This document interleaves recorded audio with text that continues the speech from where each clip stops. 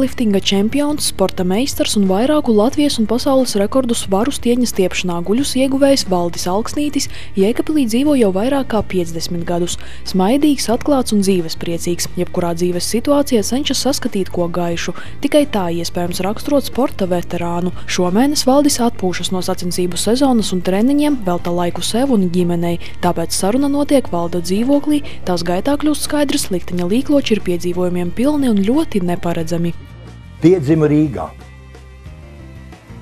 43. gadā tēvs palika Volfos puros, mamma ar mani divu gadu vecumā, nevieglāk izdzīvot, izbrauca uz limbažiem, eh, pie radiem, laukos, lai puikam būtu kārtīgi ko paēst kara laikā. Pēc tam dzīves ceļi un sports, treniņu nometnes atved uz Jēkapili, kur sapazinos, lietošu vārdu atkal ar savu pirmo sievu, ko kopā esmu no šobrīd, nu un tā palika arī Jēkapilī. Kļuvu par Jēkapilieti, ir tā dilemma, vai Jēkabils ir ar mani vinnējusi, vai es esmu vinnējis ar būdams Jēkabилietis. To es nevaru spriest. It kā jau jābūt lutenātam, mātes vienīgais dēls, bet, nu, nezinu, tāpēc tētis jau, es jau atkārtoju, tētis guļa Valhaus puros. Bērnības atmiņas, bērnības atmiņas, lai cik tas būtu skumji, tomēr saistās ar darbu. Jau no bērna kājas šitie agrie rīti celties augšā, atvest zirgu, iejūgt, nobraukt gar kaimiņiem, salasīt piena kannas, aizvest uz pienotavu, pēc tam sagaidīt vājpienu, atvest atpakaļ. Un, nu, tas trakais bija tā rītos agrā celšanās. Pēc tam nākošais variants, lai tiktu uz, nu, dzīvoja katvaros, lai tiktu uz katvaru skolu vakarā paspēlēt volejbolu, man bija attiecīgi jāizdara mammas uzdotie darbi. Tas bija sakapāt lapas lopiem, tas bija izravēt attiecīgas vagas runkuļu vai, vai burkāns vai kāpos, un tad pēcpusdienā jau sēsties uz velospēda, aizbraukt 4 km, uzspēlēt volejbolu kāds 6, 7 setus, pēc tam ezera izpildīties un tumsiņā atbraukt mājā un no rīta 4 celties augšā. Nu, bērnības atmiņas viss ir saldas, ne, ne bērnība bija skaista, lielās bites, zaļā zāle un zilās debesis. Tā kā bērnības atmiņas ir, ir patīkamas, neskatoties uz to tādu. Mamma sapazinās ar vienu kungu, un tas man mācīja to praktisko pusi. Un viņa teiciens bija tāds: dēls, ja tu kaut ko dari, tad izdari un izdari viņu labi. Ja tu to nevari, tad labāk nemaz nedari.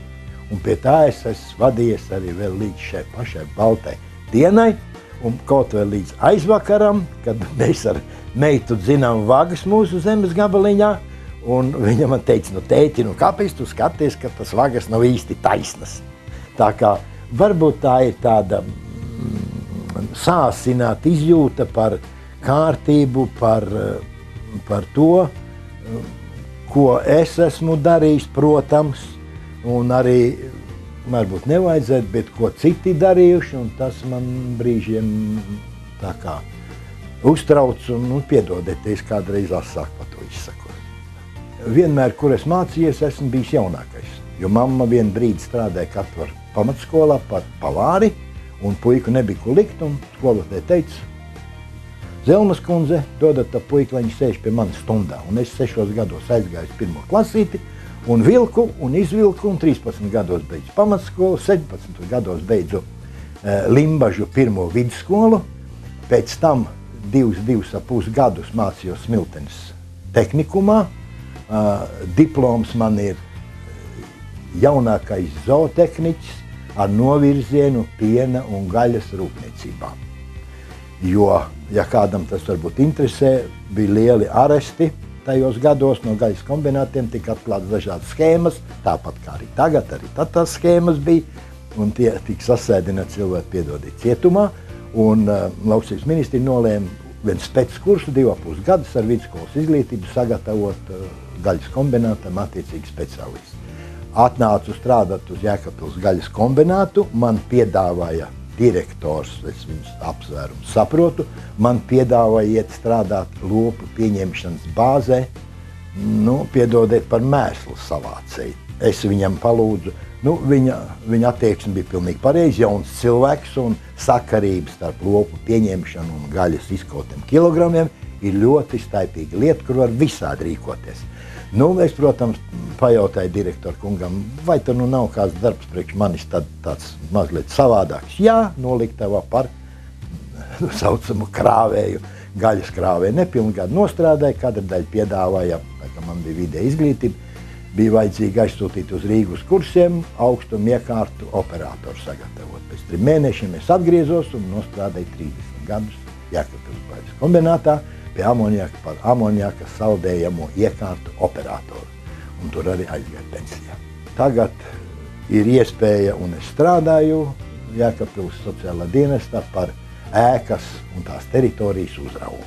Ļoti patika matemātika, algebra, nepatika tā laika priekšmeti kā loģika, astronomija, psiholoģija. Arī tāda priekšmeta bija vidusskolā.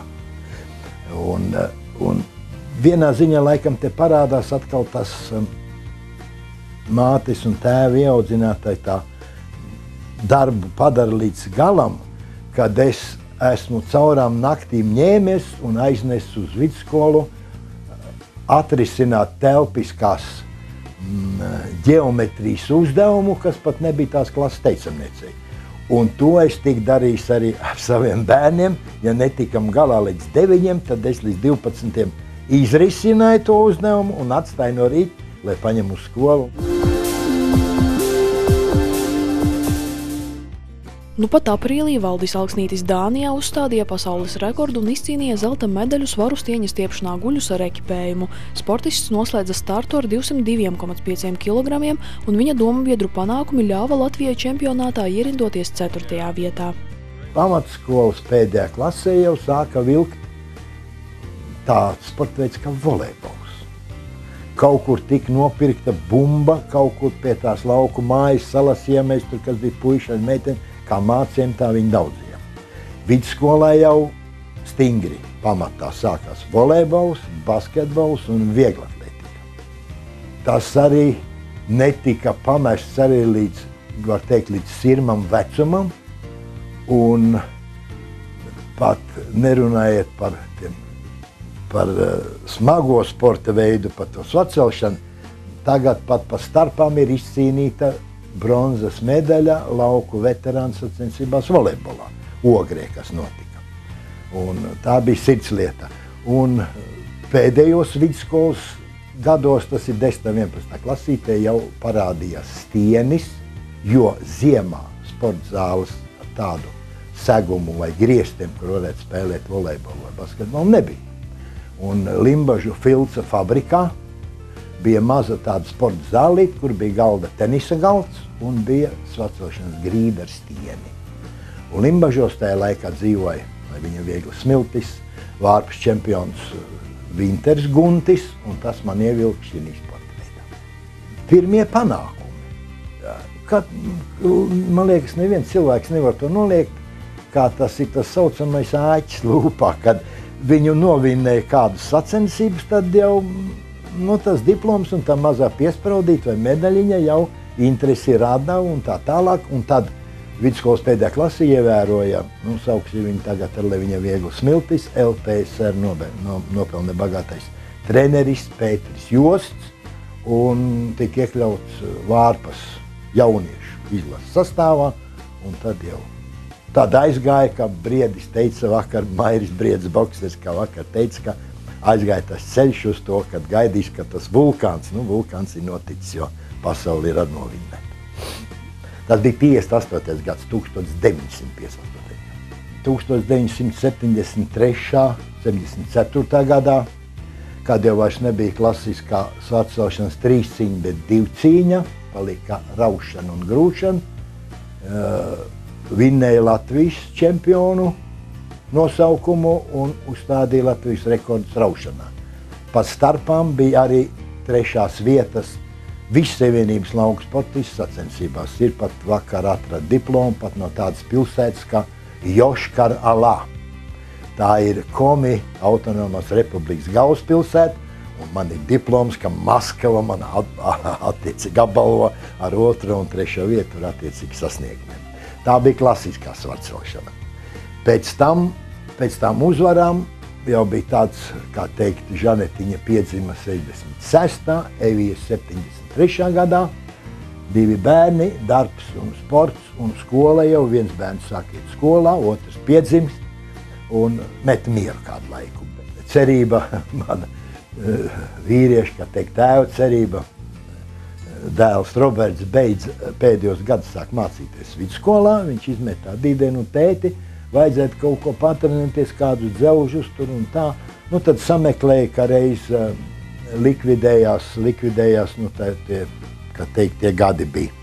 Uh, salasītu laust stieņus, sametināja, sataisīja un, un tepat pagrabā vien no, ā, un nam pārvaldes priekšnieks Danakungs piedāvāja man nojaukt bērnu dārzā izpostīto bērnu mājiņu un materiālus paņemt sev par darbu.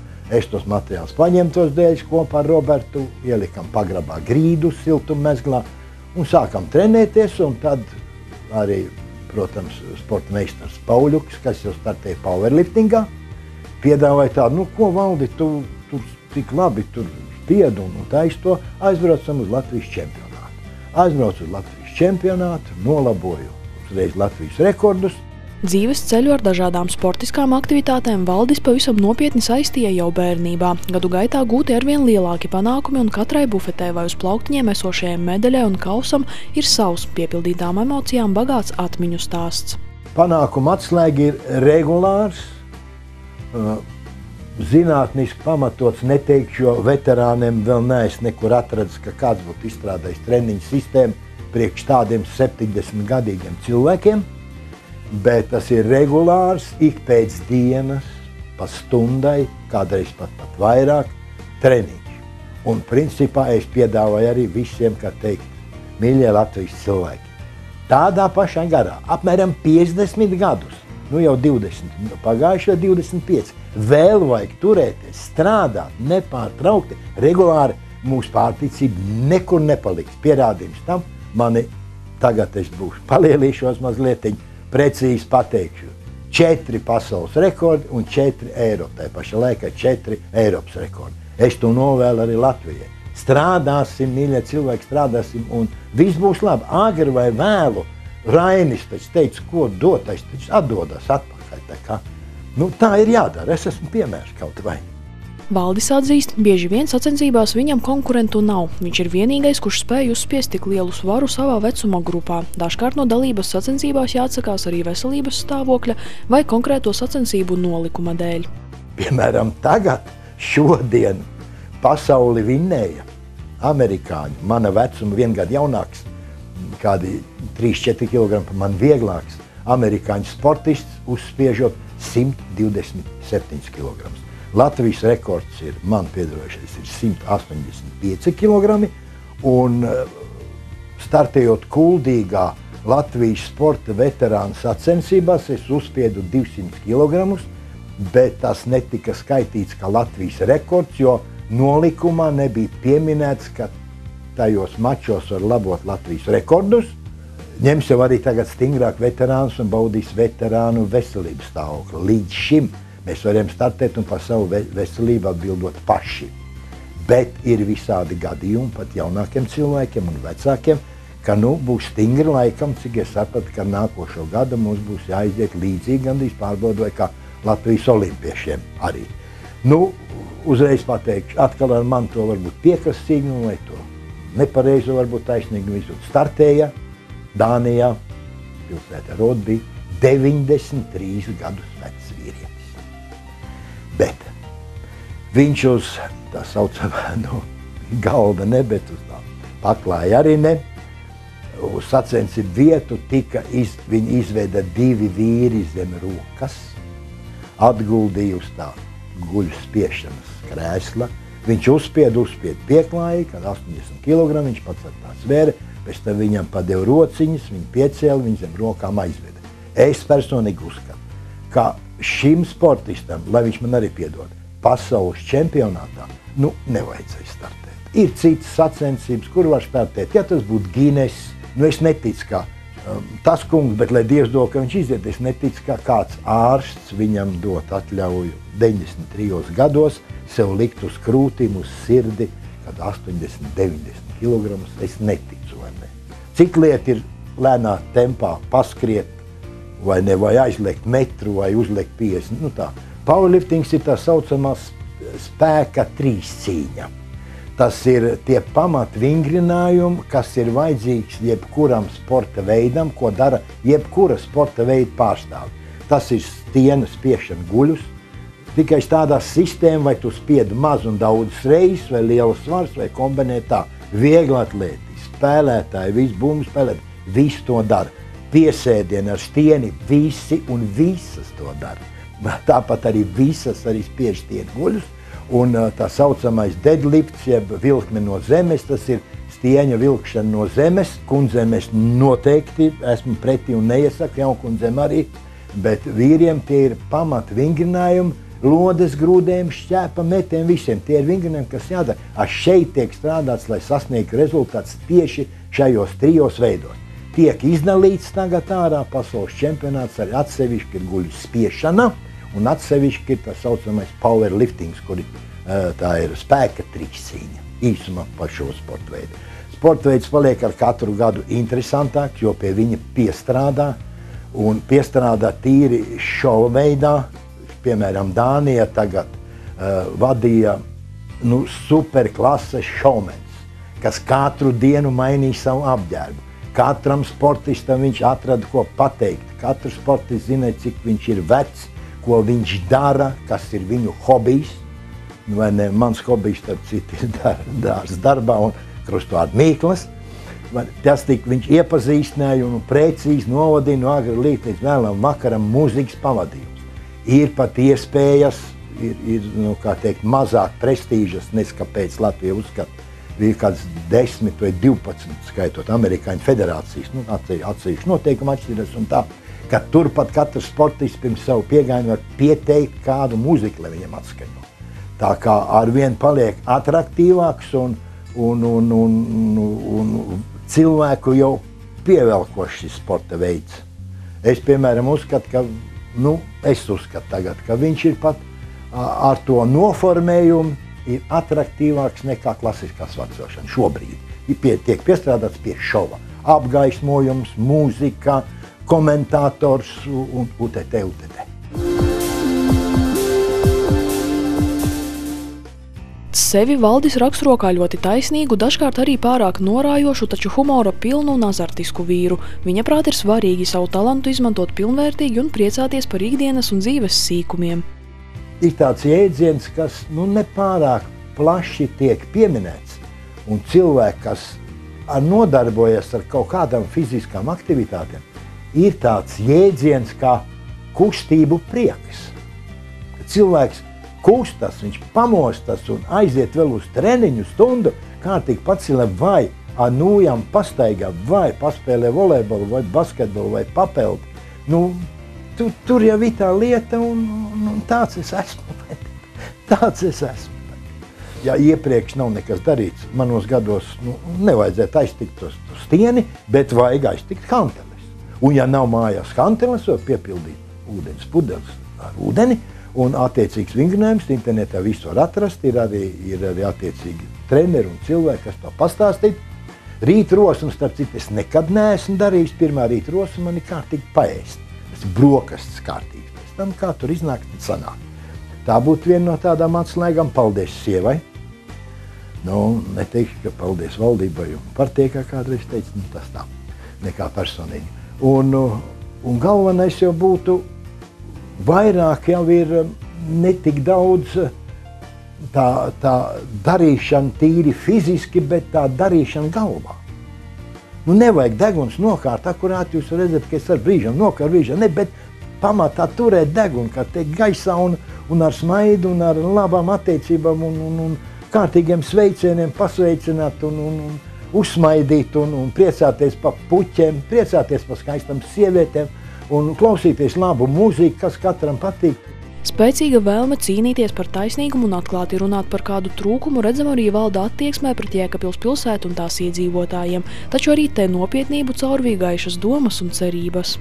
It kā jau nevarētu daudz prasīt no Jēkabpils, jo Jēkabpils ir gan Sēlija, gan Latgale, gan Vīdzeme, un vēl arī paskatoties dziļāk vēsturē, ir Jēkabpils ir kā tautu staigāšanas krustceles, un, lai neapvainojas Jēkabpilieši, bet tāda īsti mīļa attieksme pret pilsētu, pret tiem objektiem, kas ir pilsētā atrodas, ar ko vajadzētu lepoties, nav.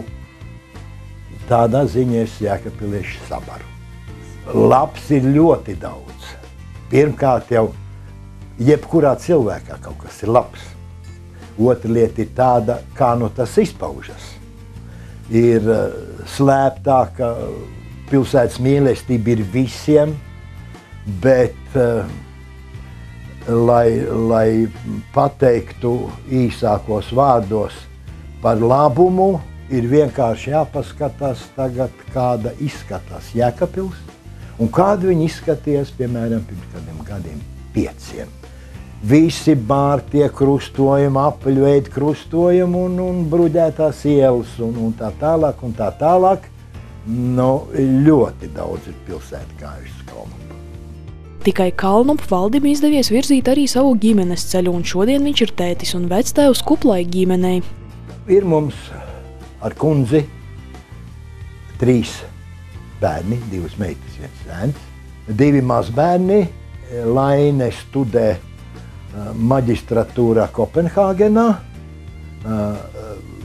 Bruno šogad beigs 9. klasi.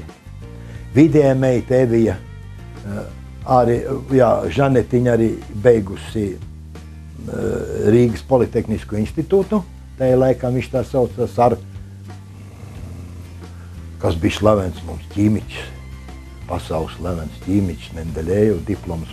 Nu, tas tā nav sarkanais, bet tūp pie sarkanā diploma. Tad Evija beigusi Lauksības akadēmiju, pārtikas, pārtikas tehnologs. Be, nē, nav pārtika, viņa ne, putriniekos nemācījās, viņa mācījās piena, piena ražošanā. Evija ir ārzemēs, jo šeit tajos, nu, Evija, ka reiz beidz skolu tajos gados, ka Latvijā viss principā grozījās, taisies, bet pamatā bruka, un darbs nebija dabūjams, un aizbrauc uz īriju, tā tur arī palika, sapazinās ar īru, un man ir arī divi mazbērni, Stela un Oskars. Un Roberts pēc viena gada studēšanas Reizeknes, Reizeknes eh, augstskolā, nezinu, vai tā ir universitāte vai augstskola, nepateikšu jums tagad, pa studentu programmu aizbrauc uz Ameriku, gadu varēja strādāt un iepazīties, un pazuda. Un pēc kādiem sešiem, septiņiem mēnešiem viņš uzrādās. Un jau šobrīd ir Amerikā. Man arī Amerikā ir divi mazbērni. Bet nu, tur ir manas, mans uzvārds Amerikā. Amerikā ir Maija Augsnītis un Olivers Augsnītis. Tā kā tas man ir sirdī. Tā. Nu, es atvainojos, protams, Latvijai par to, ka mani, mani bērni ir, ir projām, bet nu, tad jau diezgan daudzām ģimenēm Latvijai būtu jāatvainojas, jo bērnu ir daudz projām. Tā kā, nu, tāda mums tā situācija ir. Un, nu, piedodiet, ka es viņus tādu ritīgos, kā teikt, piedodiet, tādus kārtīgus patriotus nu, neizaudzināju.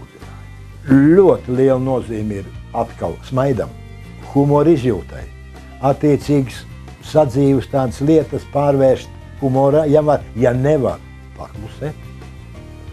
Un, uh, Otra lieta ir arī nu, pārāk neļauties palīdz, lai, lai tevi padzen zem tās tupeles, bet uh, sapratnē un ļoti daudz jau mm, ģimenes satur kopā tā kopīgā rūpe, un principā tā rūpe jau izpaužas, ka ir jāstrādā un tiem bērniem jāsagādā, lai viņiem būtu labi, un līdz ar to jau nav laika domāt, piedodiet, domāt var par kādu sievieti, vai tā, nu, tas tā ār, ārpus teksta, vai ne.